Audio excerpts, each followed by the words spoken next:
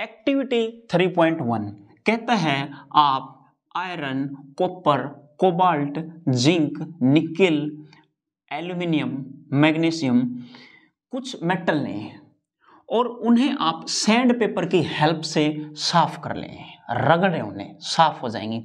उसके बाद आपको क्या नज़र आएगा? उसके बाद आपको उनका शाइनिंग सरफेस नज़र आएगा। और मेटल की वो प्रॉपर्टी जिनकी वजह से शाइनिंग सरफेस होता है, उसे मटैलिक लस्चर कहते हैं।